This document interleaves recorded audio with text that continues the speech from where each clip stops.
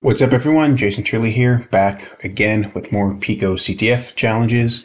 We're looking at the breadth challenge from Pico Mini by redpwn in the reverse engineering category. We see it's worth 200 points, so slightly more difficult than the last challenge we solved. In the description for this is, surely this is what people mean when they say horizontal scaling, right? Top secret info, our operatives managed to exfiltrate an in-development version of this challenge with a function with the real flag had mistaken it. Can you help us get the flag? If we scroll down here, we see there's two files that we can download, breadth version 1 and breadth version 2. So I'm guessing we need to reverse engineer these and then find the flag, obviously, right? So right click, copy link, already have a working folder downloaded here. YouTube PicoCTF breadth is just how I like to organize my challenges. So let's download the first file with wget. We see that saved correctly. Hit the up arrow and change that to breadth version 1. Do a quick ls tag lh. Okay, both files are downloaded. They look to be the same size. If I do file star to check these out, we can see that they both are um, Linux executables. They're not stripped and they're dynamically linked. Awesome. Let's make them both executable. So we can actually run them. Ex execute the first one. Dead code, what's that? Make that nice and big. If we execute the second one, dead code, what's that? Goodbye. So if you're not familiar, dead code is basically just unused code in a binary, in a uh, program, in an application. It's code that's not used and it's kind of a waste of space. So I guess there's dead code in these binaries. Let's see if we check them out with the strings command. Breadth star, let's pipe that into less. Okay. Hmm. Nothing interesting so far. Let's do forward slash search and type in Pico. Oh, okay. So there's a lot of flags here. Oh, there's a ton. Let's, uh, instead of piping that into less, let's grep for Pico. Well, that's a lot. How many is that? Let's pipe this into word count tech lines to see how many lines there are. So there's over 32,000 possible flags and only one of them is correct. So how can we go about determining which one of these is correct? So are these two programs the same? When we ran them, they print out the same thing. Let's see, diff on breadth v1 and breadth v2 it says that they're different, so they're not the same file. Let's compare. So compare, specify your options, and then whatever files, compare two files byte by byte. Let's see, we want option B to print the differentiating bytes, and let's output in verbose mode as well. So compare byte by byte, verbose mode, breadth version 1, and breadth version 2. Okay. So these are the bytes that they are different in. We see a huge jump here. Before we go any further, let's open this up in Ghidra. This is a very popular reverse engineering tool for debugging and decompiling. Okay, close the tip. We don't have an active project, so let's go to File, New Project, Not Shared. And this directory is fine. Let's just keep it simple and name the project Breadth. And now we want to open up the code browser underneath the tool chest. All right, now that Ghidra is loaded up, we need to import our binary. We could probably do version 1 or version 2, but let's do version 1. Okay, it automatically knows that this is an executable and linking format file. It tells us what compiler was used to create it. All right. All right, let's analyze it since it has not been analyzed yet. You can select what options you want. So ASCII strings, we could uncheck that since we've already looked at the strings earlier with the strings command. Honestly, I just leave these set as they are. I don't really see a reason to change them. If you want to be super verbose, you can just select all of them. Or if you really know what you're doing, you can only um, select the exact options that you want. But I like to just leave it as the default. It gives us a summary of some stuff we already know, right? The file name, the architecture, the processor. We see the minimum address here, and then there's the max address. I'm curious if it prints out the starting point, the starting address. I don't see that yet, but I think we'll need that. Okay, let's hit OK. And down here in the lower right hand corner, you see that it's disassembling stuff. We see undefined main. Perhaps once it's done um, doing its thing and analyzing, this will give us a little bit more info. Because if we click on it now, these functions are unknown. Everything is unknown. So let's pause for a brief second and wait for this to finish analyzing completely. All right, in the meantime, I've made this a little bit larger, a little bit easier to read. It's still analyzing, but we see that these were unknown and now they're DAT. I guess maybe that's shorthand for data, but it's still going.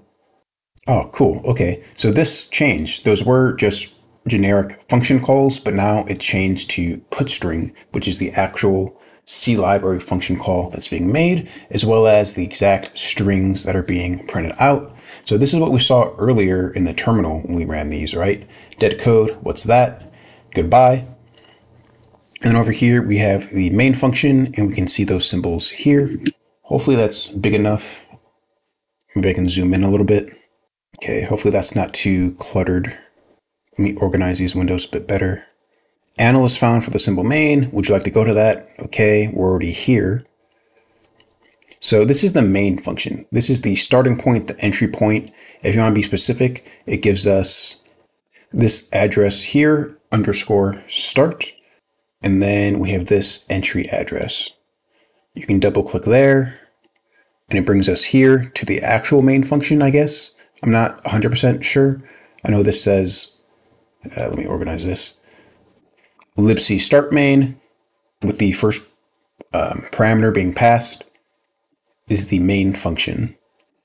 I feel like I'm saying the word main way too much. And that brings us here. So essentially, the actual starting address is here. If we scroll down, let's see what else is here.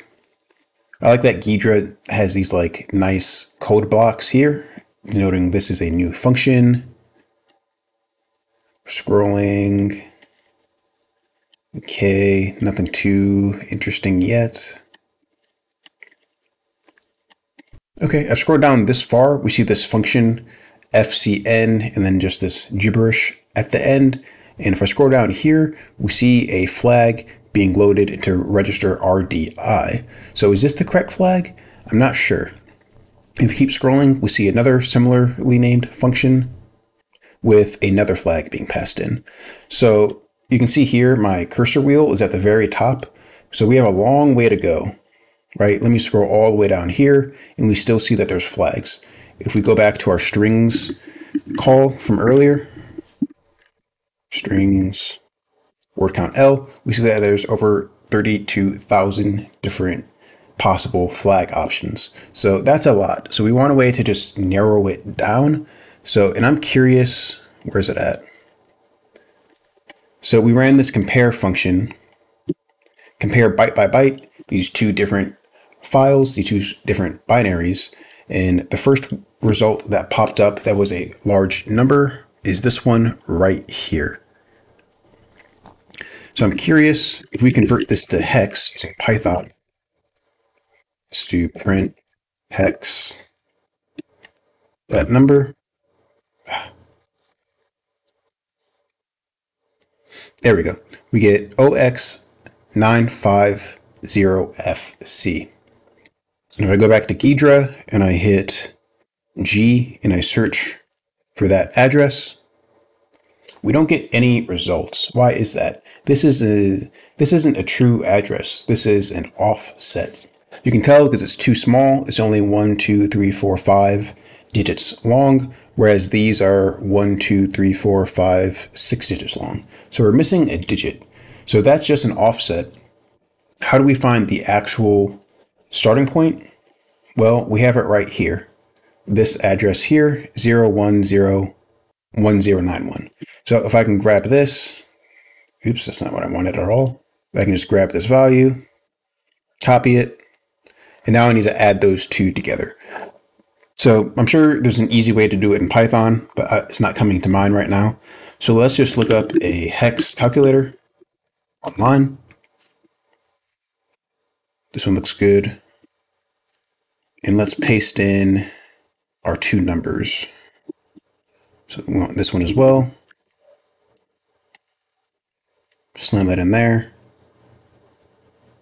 And here's the hex address. So let's grab this, come back to Ghidra, hit G to open up this go to, this like search box, hit OK.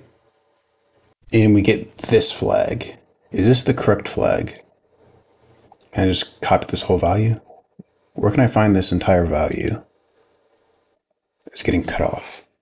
How do I get it without these dots? Right click, copy. Let's see, is that the correct flag?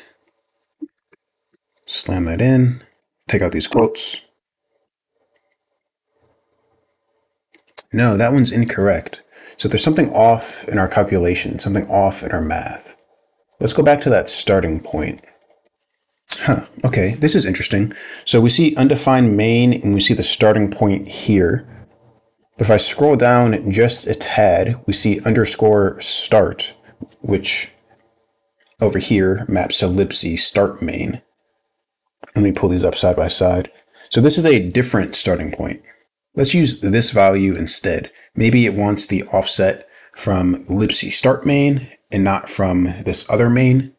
So if I come back here, go to my calculator, slam this in. Now we get a different address. Grab that, hit G for search, slam in this new address, and we get a different function. Come over here, double click on this, and it brings us here. Right click, copy. Maybe it wants this flag. I don't know if you guys can see that. Let me zoom in. Take out the quotes.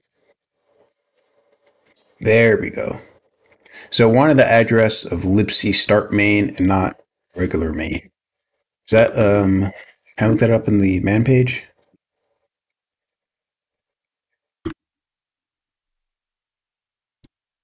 So why is that? What is